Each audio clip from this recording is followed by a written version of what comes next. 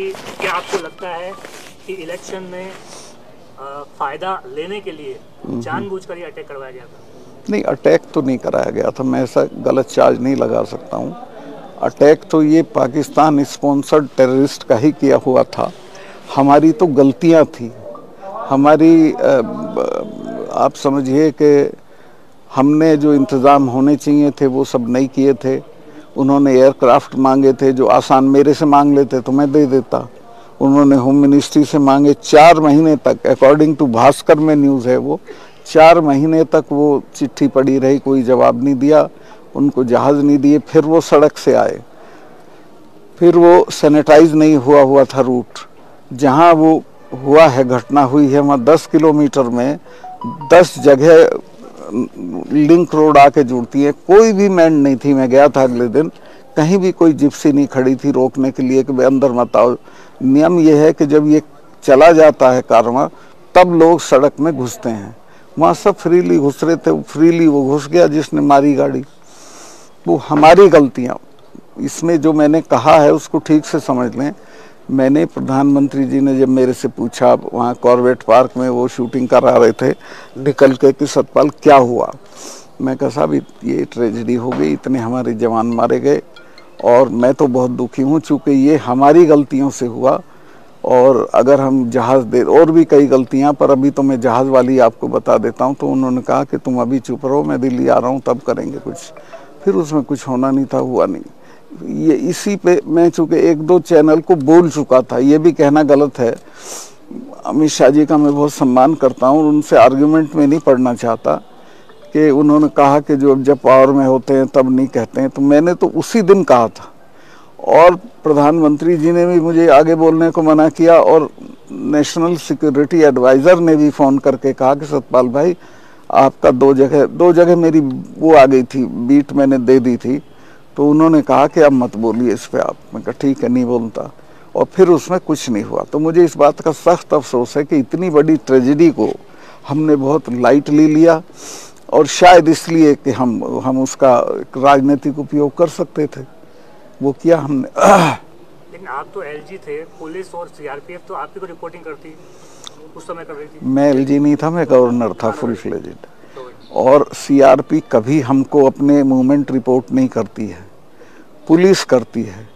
CRP अगर मुझे report करती और कहती कि हमको जहाज़ चाहिए तो मैं आधे घंटे में पाँच जहाज़ करा देता। माननीय आप जैसा कह रहे हैं कि उस समय आपको पीएम साहब ने मना कर दिया कि आप बोलेंगे नहीं तो आप क्यों बोल रहे हैं आप? अभी कहाँ बोल रहा हूँ मैं? बता रहे हैं ना ये ये तो मैं तब भी बता रहा था। ये लापरवाही थी बड़ी। बहुत बड़ी लापरवाही थी। हमारी सबकी थी मैं भी? मैं मेरी भी है सबकी है। आपने क्या किया आपने पब्लिकली क्यों नहीं कही ये चीज़? पब्लिकली कहा ना मैंने। नहीं सर उतना खुलकर आप उस बोल नहीं पा रहे थे। किसान आंदोलन के दौरान आप सरकार को घेरना शुरू कर चुके थे। किसान आंदोलन पे तो मैं खुल के बोला। इस पे मैं इसलिए नहीं बोला कि ये नेशनल सिक्योरिटी का मामला था।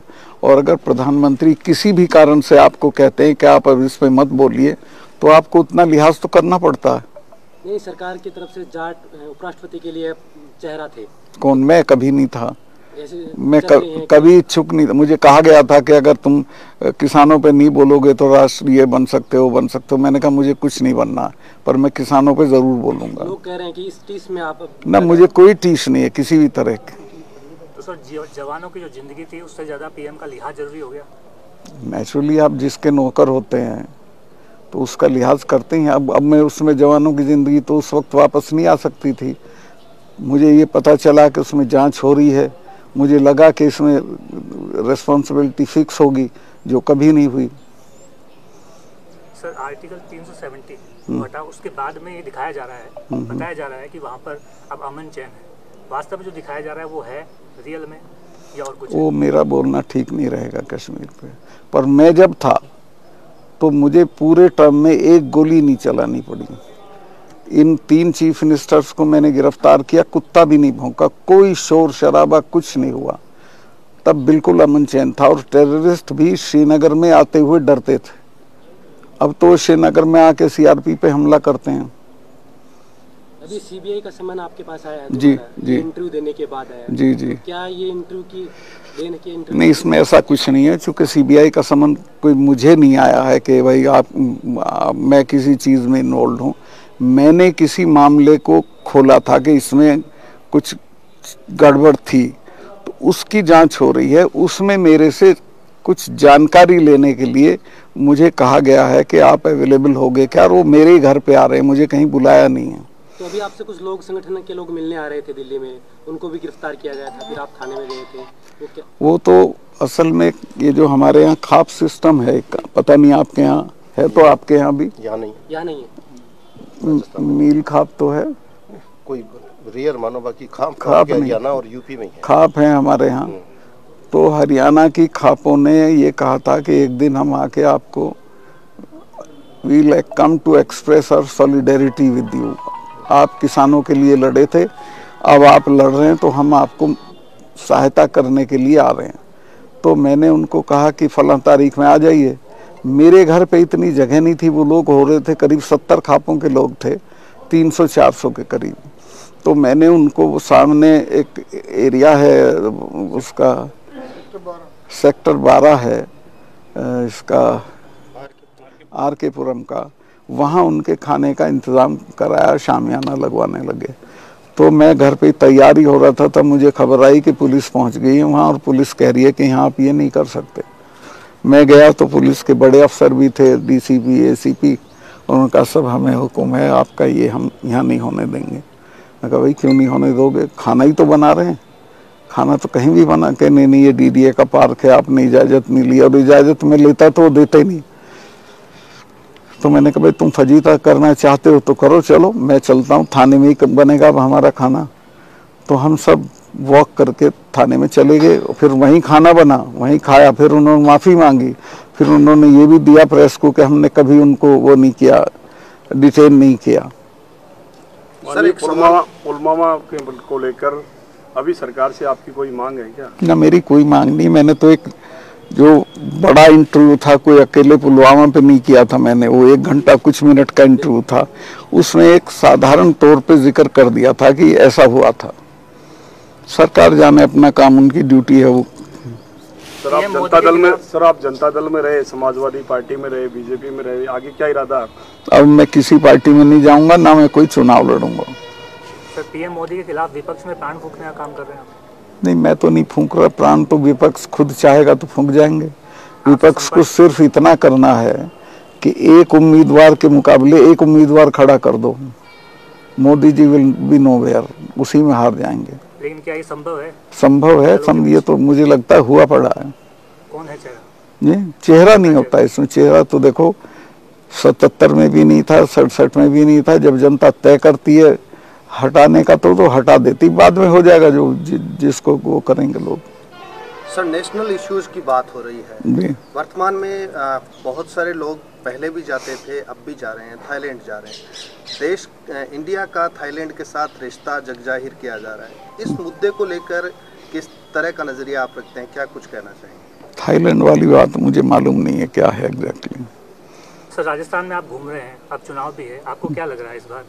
किसका पलड़ा भारी हो सकता है? कुछ चुनाव में कोई भविष्यवाणी नहीं की जा सकती। जनता जनार्दन है पता नहीं किसका पलड़ा भारी कर दे किसका चाहिए तो आपको आपसे जानना चाहता हूँ मैं क्या हाल है। आपने भी तो फीडबैक लिया होगा ना मेरा फीडबैक मेरे साथ है उसको मैं अभी आपसे शेयर नहीं करूँगा। और एक दिन में राजनीति बदलती है। आपने एक जगह कहा था कि यदि वसुंधरा राजे उम्मीदवार हो तो बीजेपी जीत सकती है। ये वसुंधरा राजे अगर उम्मीदवार हों तो बीजेपी के ज़्यादा चांसेस हैं और अगर वो उम्मीदवार नहीं होंगी तो बीजेपी के कोई चांसेस नहीं। सर तीन काले कानून जो आंदोलन हुए क्या वो वापस बैक आ सकते हैं प्रदेश के वो नहीं आ सकते हम जब मर जाएँगे तब आ सकते हैं। जब तक हम लोग हैं किसान संगठन हैं वो कभी वापस नहीं आ सकते।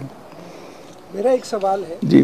आपने जो प्रधानमंत्री के लिए कहा पुलवामा को लेकर जो कहा आमतौर पे अगर इस तरह का बयान आता तो उस पर काफ़ी माहौल बनता काफ़ी लोगों में चर्चा बनती लेकिन मेन स्ट्रीम मीडिया ने इस आपके इंटरव्यू पे बात बिल्कुल नहीं करी है ना प्रधानमंत्री कोई जवाब दे रहे हैं ना पीएमओ ने कोई उसके ऊपर स्पष्टीकरण दिया है। क्या लगता है आपको जब आप इस तरह की स्थिति देखते हैं कि इतनी बड़ी बात बोलने के बाद मेरी जानकारी ये है देखिए सोशल मीडिया ने तो कोई कमी नहीं की है।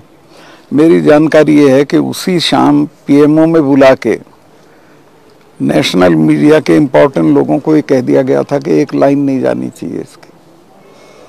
और आठ दिन से अतीक चल रहा है। ये नहीं चल रहा वो तो सोशल मीडिया है वो उठाए हुए तो उसको तो आप रोक नहीं सकते हैं।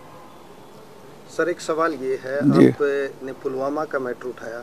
बिना युद्ध के नौजवानों की जो है शहादतें हो रही हैं उसको लेकर आप क्या सोचते हैं? क्या सरकार गंभीर है? क्या कुछ कर रही है? नहीं, उसमें तो जो करना चाहिए वो नहीं कर रही है। मैं तो सबसे पहले तो ये जो इन्होंने शुरू किया है, अग्निवीर। मैं इसका आलोचक हूँ, ये गलत है।